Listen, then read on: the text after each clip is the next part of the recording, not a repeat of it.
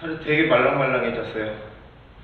이 딱딱해서 꽉 차있던 살이 이렇게 하고 잡으면 여기가 안이 이렇게 딱 잡혔거든. 이렇게 하는데도 안 빠지면 안 되지.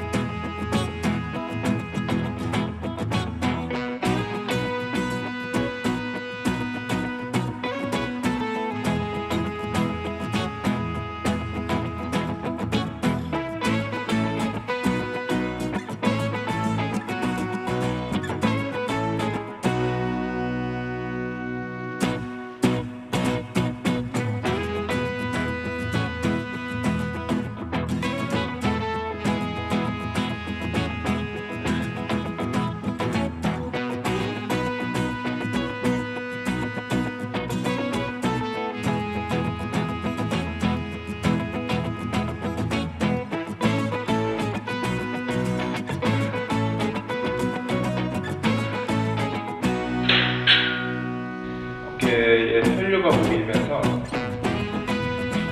장기 들어가고. 아,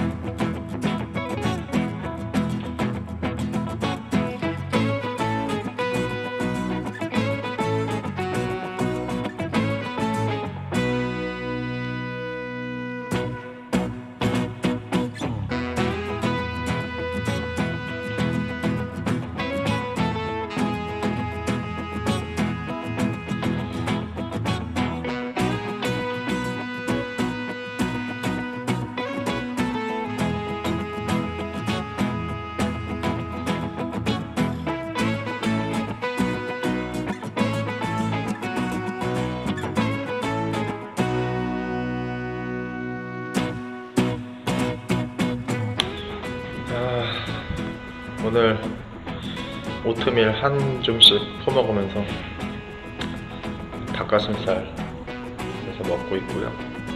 이제 거의 끼니가 아니라 그냥 과자 주워 먹듯이 오트밀 한 줌 먹고 닭가슴살 하나 먹고 그러고 있어요.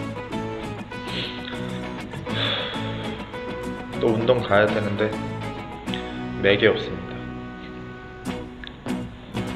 카페인 3대 500 먹고 또 가야 될 것 같아요. 또 바짝 해서 빼보도록 하겠습니다. 가자.